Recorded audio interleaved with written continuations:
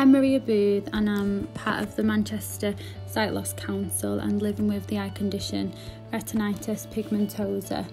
How I feel about going out, social distancing um, with a visual impairment I would say quite anxious, um, especially when it's busy. Um, I know there'll be a lot of people and finding it harder to, to social distance um, and also getting a bit of a funny look if you don't keep your distance if you're unable to and accidentally gone too close to somebody or gone the wrong way in the supermarket and the look of disgust that you're not following the rules even though it's not deliberate when I've been out shopping, picking up the products, I've found quite a challenge because usually I, I, do have some of my central vision left, but it's not enough to actually be able to see the products on the shelf. So I usually pick them up and, and you know, look at them, make sure it's the correct one. But there's a bit of taboo, isn't there, in COVID about picking up the products. So that's another difficulty, I think. And also the clear screens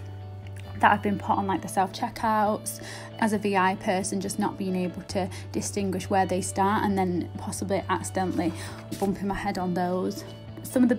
solutions that I think businesses could put in place was,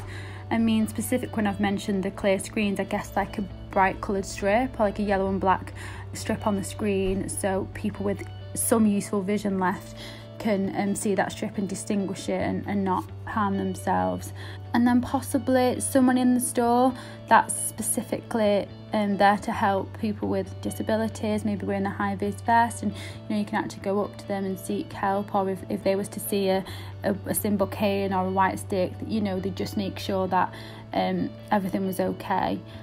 And I guess even